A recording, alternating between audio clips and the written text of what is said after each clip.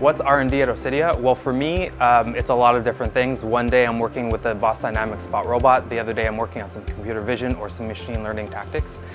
Here at Osedea, we get to work with a lot of cool innovative projects. With that comes uh, the experience of playing with new technologies. We're talking serverless, we're talking AI, we're talking about infrastructure as code, we're talking robotics, we're talking about VR, XR, um, lots of cool things, too many to count on one hand. Spot is a great example of how we can innovate for our clients and really assess how we can make the world a more efficient place for our client and for their end users.